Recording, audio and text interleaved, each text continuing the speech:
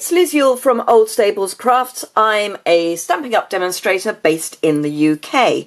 Um, I've got some exciting things to share with you later on in the video, so do hang around for that. Um, so, this video is part of the Spot Challenge group. The challenge this week is Spring Fling, so anything spring is perfect. Uh, so I have gone with the Timeless Tulips, which I haven't used enough.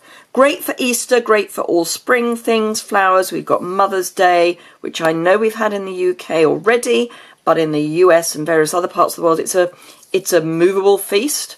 Uh, so I know Mother's Day is still to come, certainly in the US. Uh, some of these sentiments are just perfect for today where we're going through some interesting times. So may the memories of yesterday comfort you today.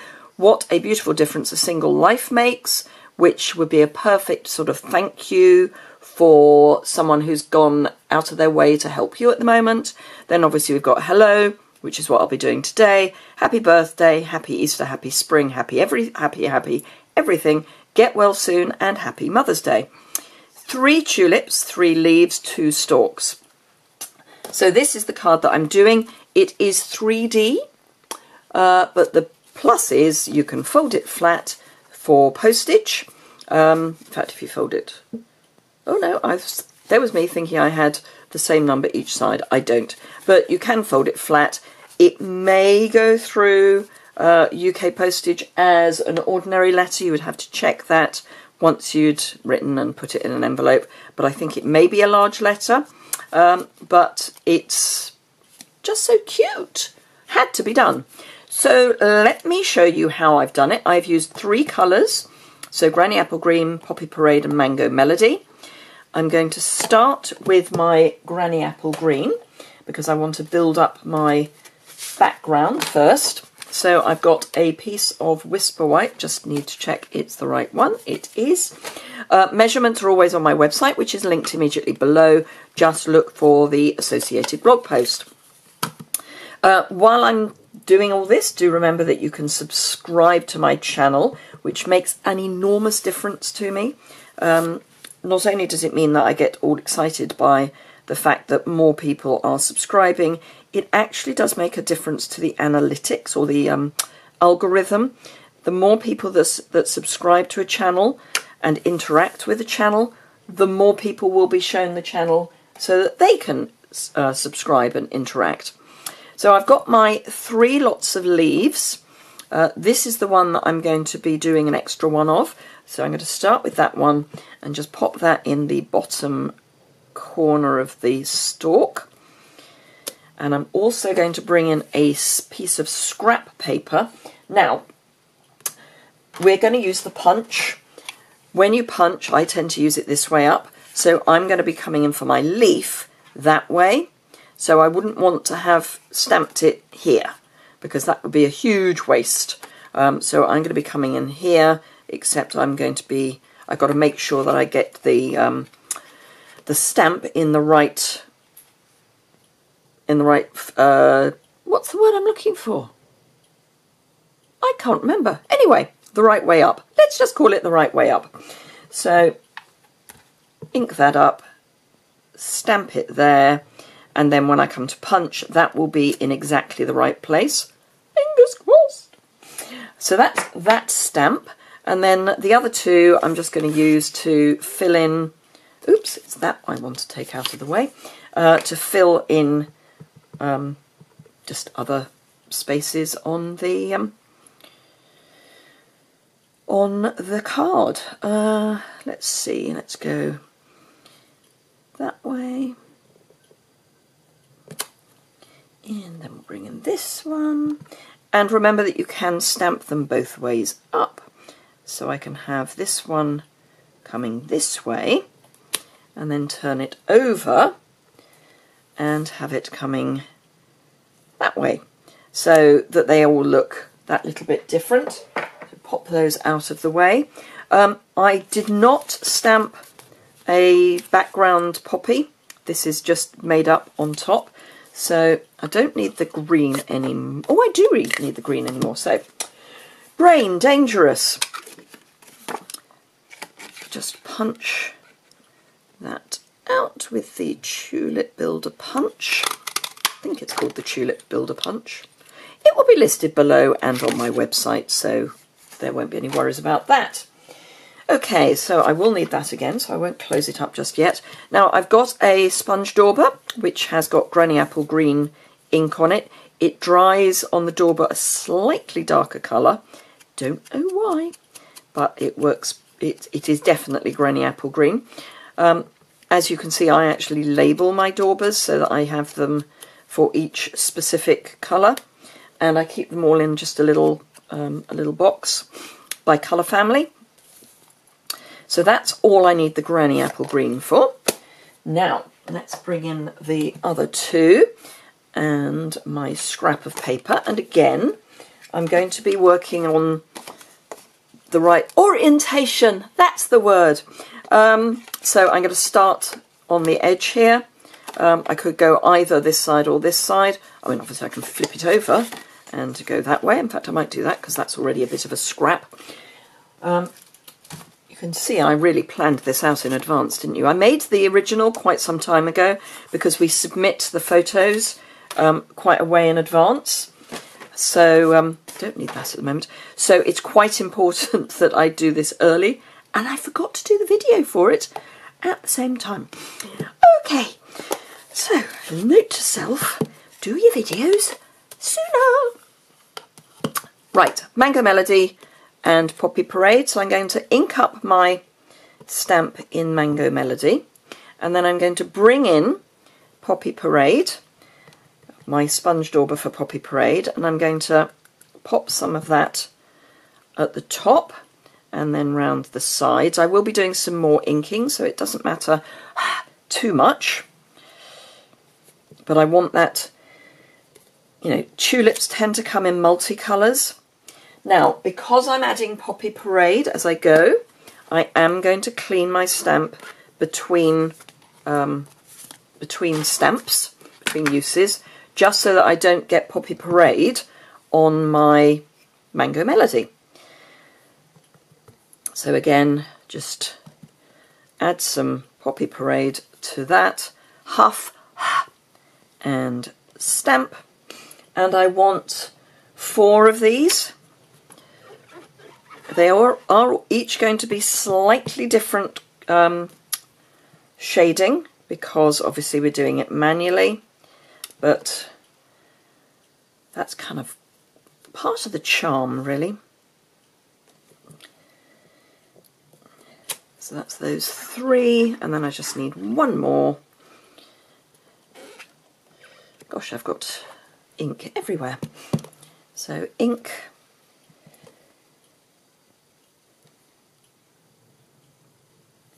more ink, huff, and down. Okay, clean that off. Uh, do remember that if you use colours that have got a red in them, they will stain your stamp, but it is a stain, it is not dirt.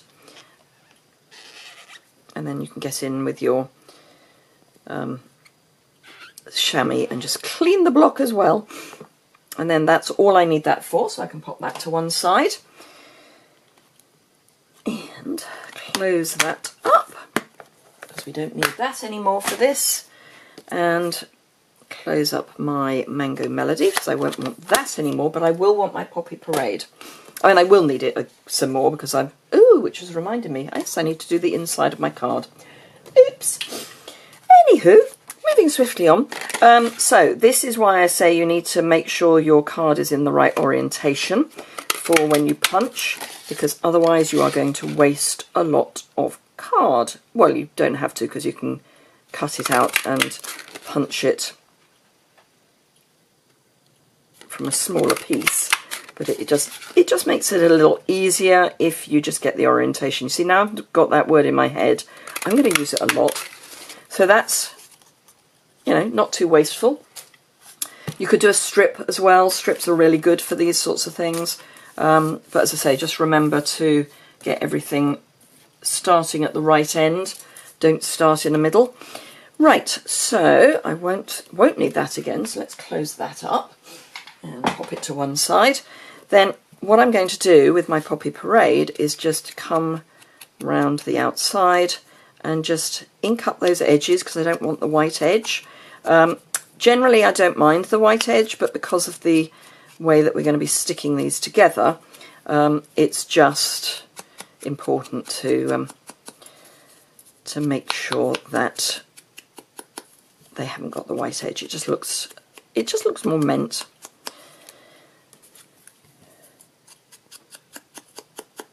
So I hope you're all surviving if you are in isolation. Um, in the UK at the time when I'm filming this, we are allowed out for essentials. Uh, we can also go out for some exercise once a day, um, but we are being asked that we do that, you know, reasonably close to home, so that if we are brewing the dreaded COVID-19, that uh, we keep it in an area that is probably already infected. Um, London is going through a, a, pretty rough time with this because obviously it's um, quite a quite a large um, population in a relatively small space. So, um, so yes. So this is the inside. So I did need that leaf again. See, and I needed Granny Apple Green again. Okay, so we need the poppy. Not poppy, it's poppy parade. We need the tulip scrap of paper, mango melody. So ink that up and close it. And just add some more ink more of the poppy parade around the tulip and then I'm going to have it so that it's coming off the bottom of my liner and then that no we do need that again so I'll leave that open for the moment and then just the leaf just tucking in there as well. Oh, that didn't stamp well. The joy of photopolymer is that you can go back and fill it in because you can see where you're stamping. Right, so that is the last I need of those stamps. Uh, the only other thing that I need to do is bring back in my scrap and with my hello and poppy parade just mm, want to get my orientation right again. Actually if I do that no that's going to be fine. So stamp my hello. That's the last of the ink I need. And then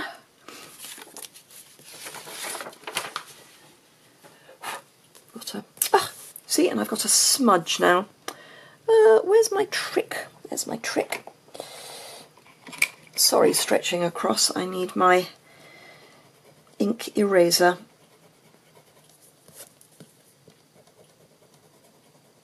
and you can just work on that little area and if you're lucky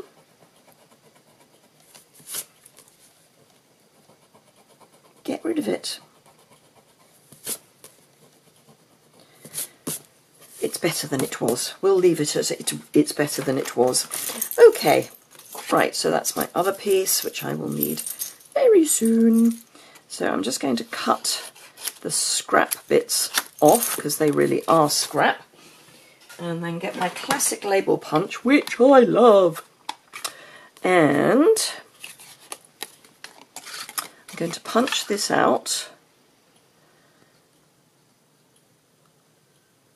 Just want to come a little bit further out. There we go. Don't want it to fly. And then tuck this back in from this end. And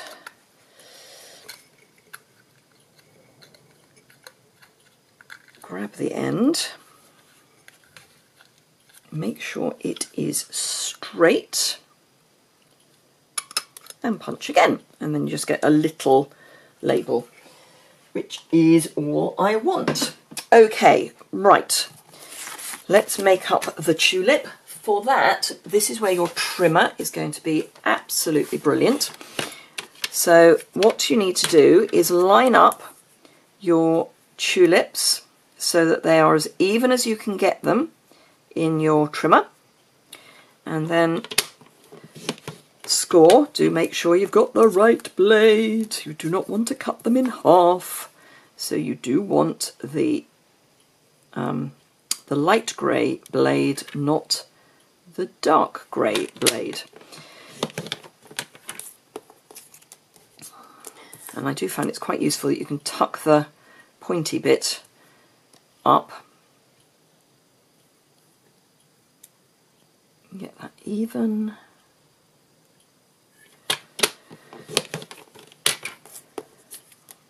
And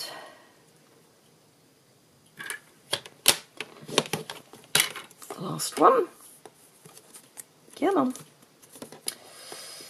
My fingers aren't working terribly well. There we go. And then just fold those. And you want them as near in half as possible.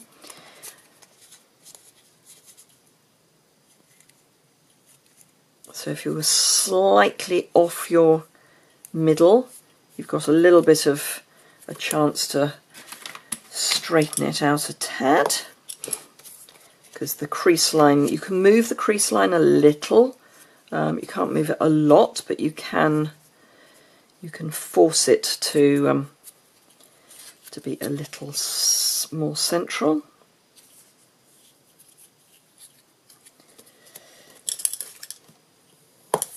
And then the last one.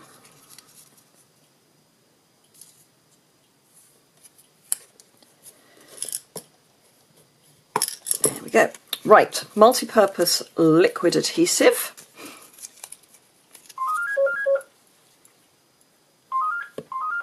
And I will be back. Sorry about that. Um, I recognise the phone number, and it's my it was my father who, um, obviously at the moment is in almost in quarantine. He's in the UK. There are one and a half million people who have been uh, told to stay inside for the next 12 weeks. Um, I'll talk about it while I'm doing this. So I'm going to add some adhesive to the to one half of my tulip. Don't go mad with the adhesive. You don't need a lot. Um, so yes, he lives about an hour, hour and 15 minutes away from us. Um, so then just flatten, keep that flat. You want everything to be as if that's what's sticking um, and then you can do the next one. Um, so yes, I recognised his phone number, so uh, it's quite reasonably one of the phone calls that I will stop recording a video for um, because he is very isolated. He's um, he is now widowed um, or widowed, um, so uh, he is kind of feeling quite lonely. Um, we try and keep in touch with them as much as we can, uh, but it's not the same as being with someone. Now, I'm not worried about that white bit because uh, there's a trick coming. Um, so yes, we're. I, I ran down as of when we're when I'm filming this. I dropped in some um, some groceries uh, a couple of days ago. Uh, because the people who were looking after him, as far as groceries are concerned, one of his neighbours, um, she and her husband have both come down with uh, coughs and a slight fever.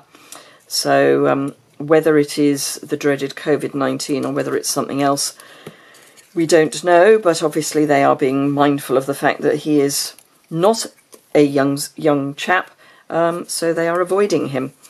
Um, right, so I'm just going to take this and just run it round the edge of all the punched pieces so that if there is any white showing, um, we can kind of cover that up with some Poppy Parade so it doesn't look quite so obvious.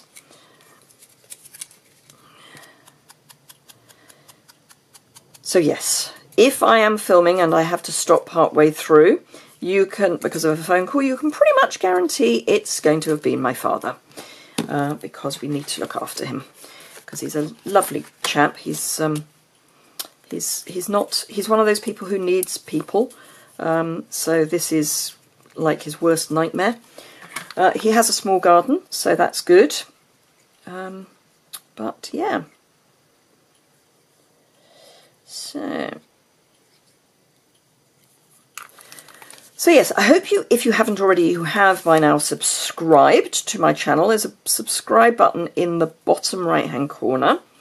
Um, so if you could click on that and then click the alerts because I am doing live videos now. I'm recording this in advance. Um, so there will have... Mm, I can't remember when this goes live because we've just changed our clocks. Um, about now, there will be a live video over on my Facebook business page.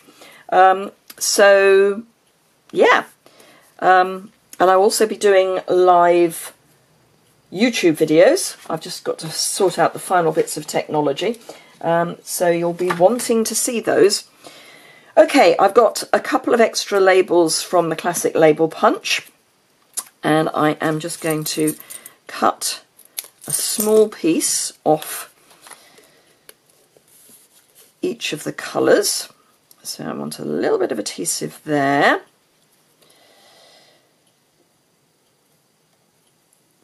and a little bit on a poppy parade piece. Oops, actually that's not. I'm trying to take a, the lid off and I haven't got the lid on. It's pathetic. And again, just pop that there and then chop another piece off this end and another piece off this end. A bit shorter. And a little bit of adhesive.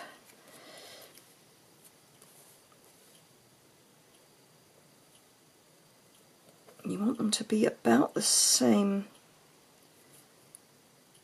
amount showing at each end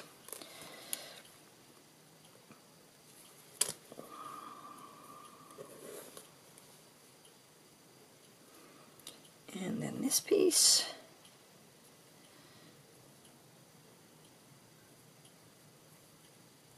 And that's that. Right okay dimensionals. It's a new sheet of dimensionals. Gotta love a new sheet. Okay so this is going to go there. So I want one dimensional. One dimensional at the fat end. And then a tiny bit of glue at the thin end because I want this to be popped up but only at one end. So I want the leaf to be looking as if it's growing out from the stalk. So I don't want, I want this end to be attached to the stalk. And then I've got a couple of mini dimensionals to pop onto my sentiment. And then the front of the card is basically done, apart from some final embellishments, which I will do once the card is all together. So, pop this down in the bottom corner. There we go. And my um, my extra bits of card were Poppy Parade and um, Mango Melody. So this we want to attach to our Poppy Parade mat. Do remember, measurements are over on my website. If you go to the associated blog post that is linked in the description bar below, um, you will find the dimensions right at the bottom of the post. Uh, there will also be up close photos or close up photos um, and some more information about how I made it. And this is going on the inside. So let's fold our card base. So this is half a sheet of A4 uh, scored in the middle. So we've got our outside panel.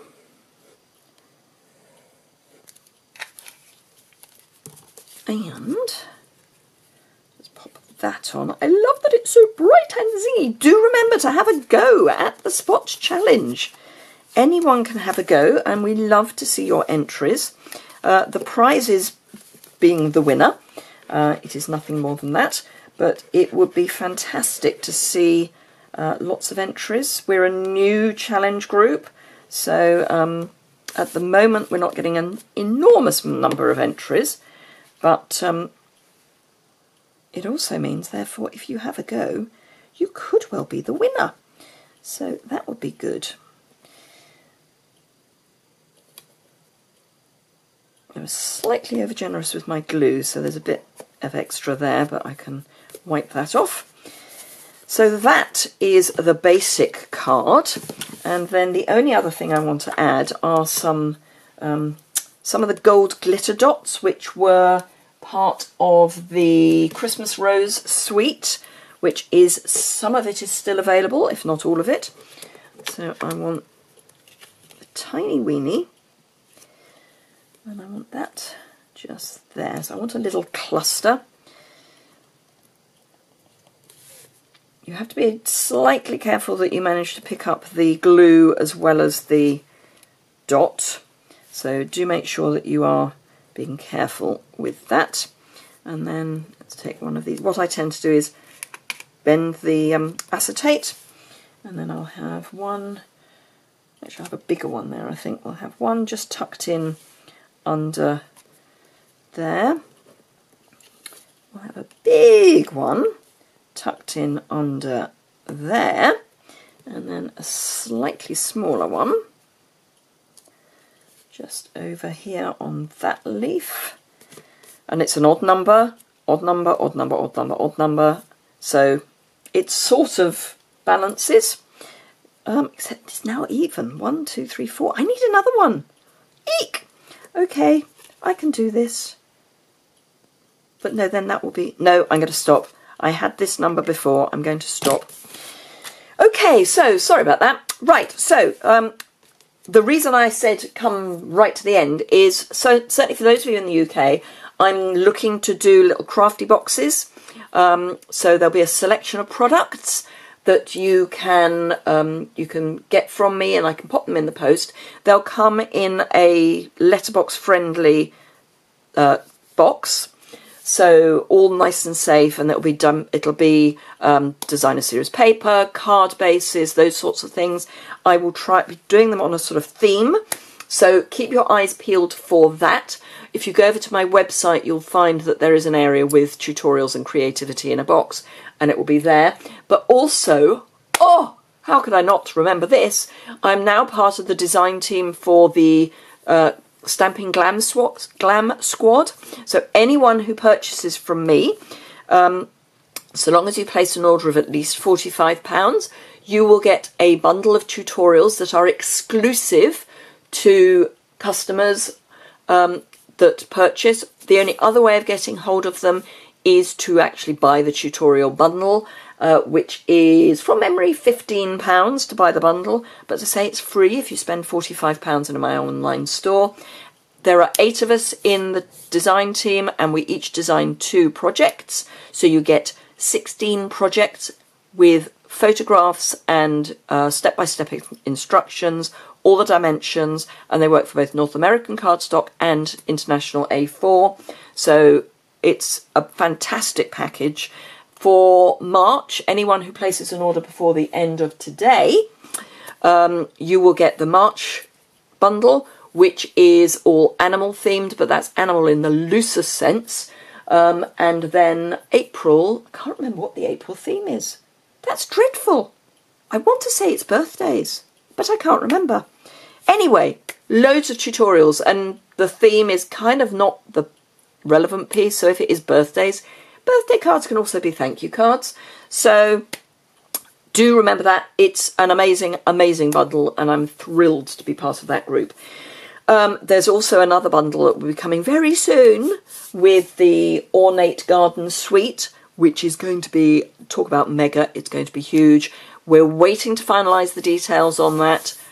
Let's just say there are lots and lots and lots and lots of tutorials, you will have so much inspiration. So keep your eyes peeled for that.